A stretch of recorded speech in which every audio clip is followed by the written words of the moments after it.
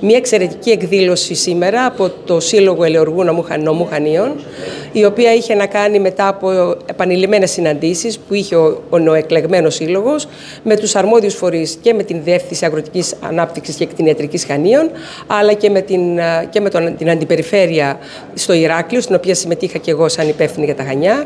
Η αγωνία τους εκφράσαν σήμερα μια τεράστια αγωνία. Το περσινά φαινόμενα, τα οποία δεν ήταν φαινόμενο χανιώτικο, ήταν ένα φαινόμενο το οποίο δυστυχώς έχει συμβεί σε πολλούς νομούς της Ελλάδος, ειδικά την περίοδο που φαινόταν ότι το ελαιόλαδο είναι λίγο, άρα θα είναι ακριβό. Υπήρξαν λοιπόν κάποια φαινόμενα πανελλαδικά σε νομού ελαιοπαραγωγούς, οι οποίοι κάποιοι παραγωγοί δεν τους χαρακτηρίζω γιατί είναι πολύ σκληρές οι λέξεις που θα ήθελα να πω για αυτούς. Χρησιμοποίησαν φάρμακα τα οποία δυστυχώς δεν ήταν τα νόμιμα και αυτά τα οποία δυστυχώς παρανόμως υπάρχουν σε διάφορα σημεία της χώρας. Οι ελεοργοί λοιπόν, γνωρίζοντας ότι αυτό το πρόβλημα μπορεί και φέτο να παρουσιαστεί, ε, μάζεψαν τους τους ελεοργούς και τους ενημέρωσαν ότι καλό θα είναι πέρα από τις προσπάθειες που κάνει η Διεύθυνση, Αγρο... η Διευθύνση Αγροτικής Ανάπτυξης σε όλη την Κρήτη, να έχουν λάβουν και αυτοί τα μέτρα τους, δηλαδή να ενεργοποιηθούν οι ίδιοι, να λαμβάνουν δείγματα ελαιολάδου από τους παραγωγούς αμέσως μόλις ξεκινήσει η ελαιοκομική περίοδος. Προβλέπετε πρόστιμο.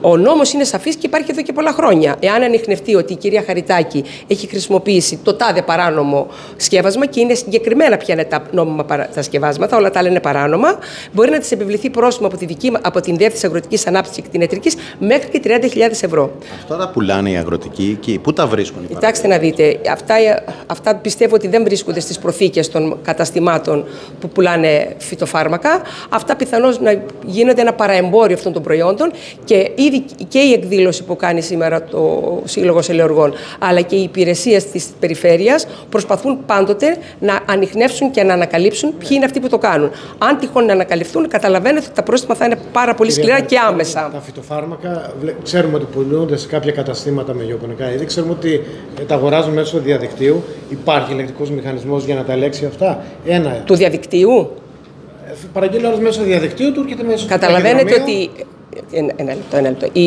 οι υπηρεσίε, ίσως να σας να σας το έχετε ξαναπεί και η κυρία Μιλονάκη, ή οι διάφοροι άλλοι συνάδελφοι από την Διεύθυνση Αγροτικής Ανάπτυξης, ότι οι διευθύνσεις Αγροτικής Ανάπτυξης εδώ και πολλά χρόνια κάνουν έλεγχο και στα μαγαζιά, που, στα καταστήματα που πουλάνε τα φυτοφάρμακα, αλλά κάνουν και πολλούς δείγματοληπτικούς ελέγχους ε, στο χωράφι, δηλαδή εμπλέκουν φύλλα α, όταν ξεκινήσει ειδικά η περίοδος της δακοκτονία.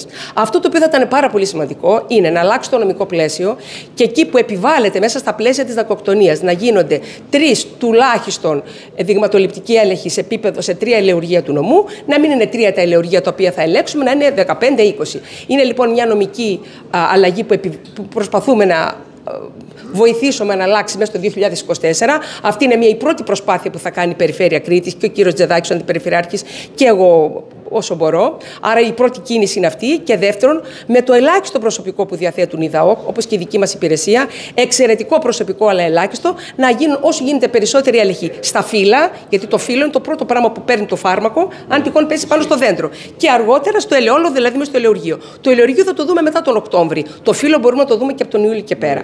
Άρα καταλαβαίνετε ότι αλλάζει, πρέπει να αλλάξουμε το νομικό καθεστώς, πρέπει να κάνουμε περισσότερες προσλήψεις και τρίτον, οι υπάρχοντες υπάλληλοι που υπάρχουν और τι, τι παραπάνω μπορούν να κάνουν, επειδή ήμουν χρόνια στην υπηρεσία αυτή. Νομίζω ότι ήδη κάνουν το μέγιστο, θα συνεχίσουν να κάνουν το μέγιστο όπως το έκαναν τόσα χρόνια. Οπότε για ελέγχου σε τρία λεωργία, το ξέρουμε ότι ναι, είναι γύρω στα 100. Ακριβώς. Προσέξτε. 100 είναι 3%. Ε, τίποτα. Δηλαδή... Αυτό σας λέω ότι ο νόμος λέει τουλάχιστον τρία λεωργία. Τουλάχιστον. Δηλαδή μπορεί να μην πάμε και στα τρία λεωργία. Είμαστε υποχρεωμένοι σαν υπηρεσία να ελέγξουμε. Στα τρία. Δειγματοληπτικά. Θα πάω λοιπόν στο Χαριτάκι, θα πάω στο Μακράκι, θα πάω και σε κάποιον άλλον. Αυτό λοιπόν που πρέπει να αλλάξει η νομοθεσία είναι να επιβάλλει περισσότερους ελέγχους. Και όταν λες για περισσότερους ελέγχους, εννοείται ότι συνδράμεις και με περισσότερο προσωπικό. Εκεί λοιπόν είναι το κουμπί. Αν αλλάξουν οι έλεγχοι, με κάποιο τρόπο ίσως να βρεθεί και η λύση να πάρουμε μόνιμο προσωπικό στις διευθύνσει αγροτικής ανάπτυξης.